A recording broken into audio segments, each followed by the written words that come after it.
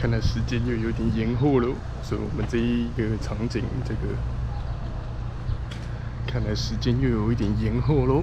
我们这一个场景应该就是要速速把它拍完，然后又要继续赶下一个场景喽。看来又有点延后了，所以我们这一个场景应该就是快速把它拍完，然后就要再赶下一个场景了。